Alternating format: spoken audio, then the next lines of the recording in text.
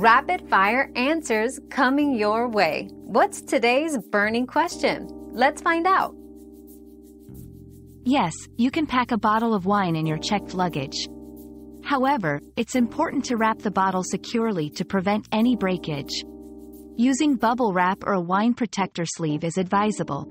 Additionally, check the alcohol content limits and quantity restrictions of your destination country and airline. Always ensure the bottle is sealed and unopened to comply with airline regulations. Another mystery solved, but many more await. Keep up with our daily discoveries by subscribing and turning on notifications.